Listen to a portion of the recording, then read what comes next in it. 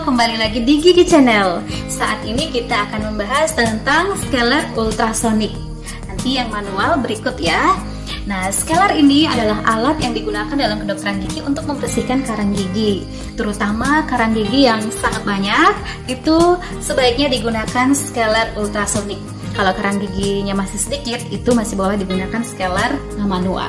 Berikut ini alat dari scaler ultrasonic. Kita lihat. Jadi ini adalah scaler ultrasonik yang digunakan untuk membersihkan karang gigi atau kalkulus ya. Jadi untuk membersihkan karang gigi atau kalkulus itu dapat digunakan scaler manual atau ultrasonik. Yang sekarang kita bahas adalah scaler ultrasonik.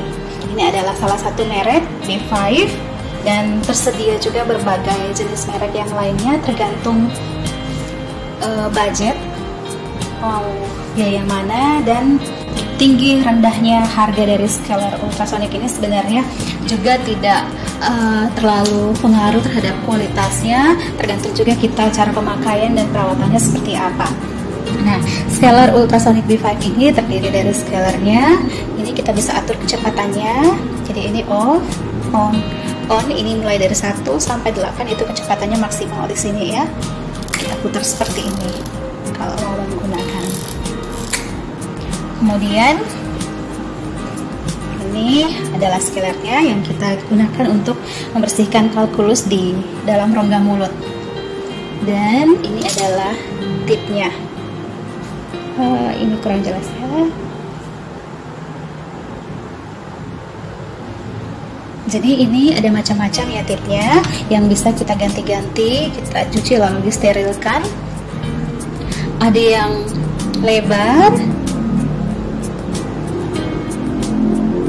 dan ada juga yang runcing. Jadi tergantung kita mau membersihkan gigi di daerah mana.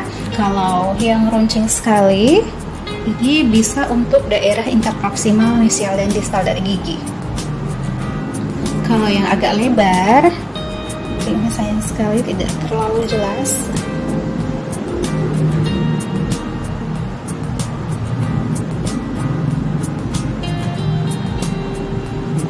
kalau yang agak lebar permukaannya itu untuk uh, bagian muka, labial atau lingual dan palatal dari uh, gigi.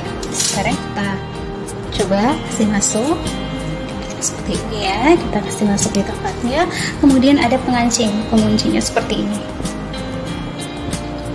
Kita kunci, kita putar.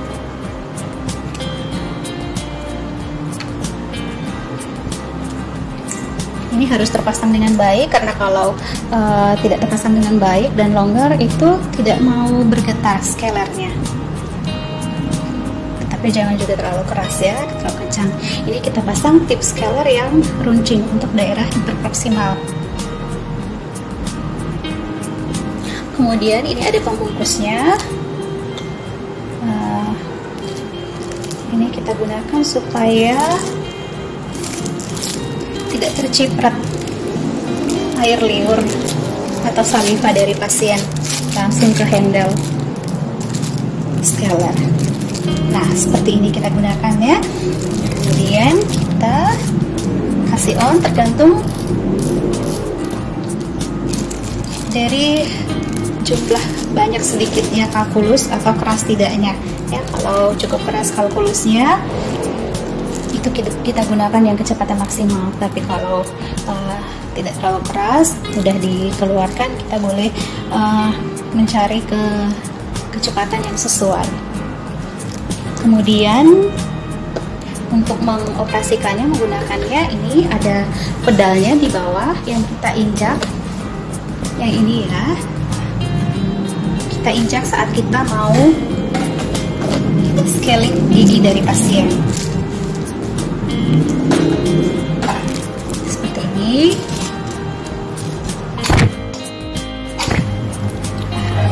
Ini sudah beroperasi nah. ini seperti itu penggunaannya. Kalau sudah selesai kita boleh buka kembali. Kita buka tips scalernya seperti ini kalau sudah longgar boleh dengan tangan dibuka.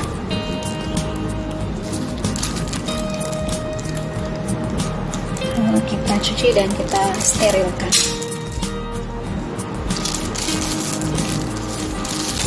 Nah, ini dia scalar ultrasonik uh, eh, jadi perawatan dari scalar ultrasonik ini uh, kita bisa menggunakan sebaiknya menggunakan air aqua saya tidak mempromosikan merek di sini tapi kalau misalnya dia menggunakan air pump atau air sumur biasanya kan ada endapan kapur nah itu bisa menyumbat scalar ini yang bisa melewati selang selang selang scalar jadi selama ini saya menggunakan air aqua dan uh, ini usianya dari tahun 2011 sampai 2020 itu masih awet sampai sekarang. Kemudian kalau tersumbat itu bisa arah sumbatannya bisa asal sumbatannya bisa dari selangnya atau bisa dari tip tip scalar. Jadi tip scalar ini ada lubang kecil sekali di sini. Sayangnya tidak kelihatan ya, tidak kelihatan jelas. Ah, ini dia baru jelas ini dia ada lubang kecil ini tempat mengalirkan air jadi kalau kita memakai scaler ada pengaturannya airnya dan sebaiknya pengaturan airnya itu jangan terlalu banyak jangan juga terlalu sedikit. Karena kalau terlalu sedikit alatnya bisa panas.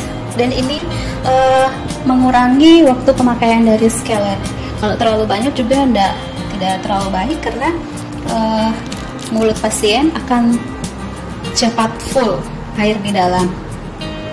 Meskipun ada suction atau uh, ini aspirator untuk mengeluarkan uh, saliva dan air itu tetap uh, tidak terlalu baik kalau terlalu banyak juga ya airnya.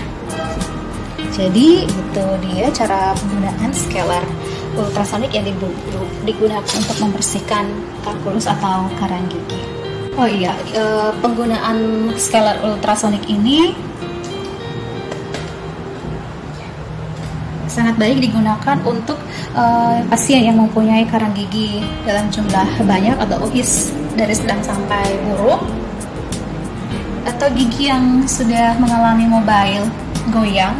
Karena kalau membersihkan karang gigi uh, dengan gigi yang sudah mobile menggunakan scaler yang manual bisa-bisa giginya lepas dari soket. Jadi sebaiknya menggunakan scaler ultrasonik untuk gigi yang sudah mengalami kegoyangan atau mobile.